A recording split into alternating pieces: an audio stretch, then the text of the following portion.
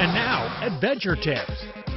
Whenever you're camping, whether hiking in the backcountry, car camping, or out in your canoe, always carry an emergency kit. Emergency kit can be very small, can be smaller than this, and has several essentials.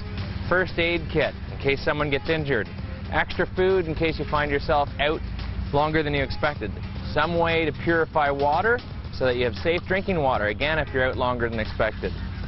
If you have to spend overnight and you don't have your tent or sleeping bag around, one of these emergency blankets can help you out, keep you dry, and keep you warmer.